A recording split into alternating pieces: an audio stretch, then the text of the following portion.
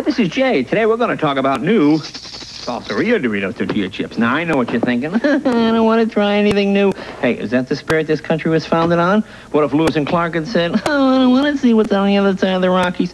Oh, sure, you're saying there's nothing new about onions, peppers, tomatoes? but it took an American to put it on a tortilla chip and give it a name like Salsa Rio. So do your patriotic duty. Try new Salsa Rio Doritos and crunch all you want. We'll make more.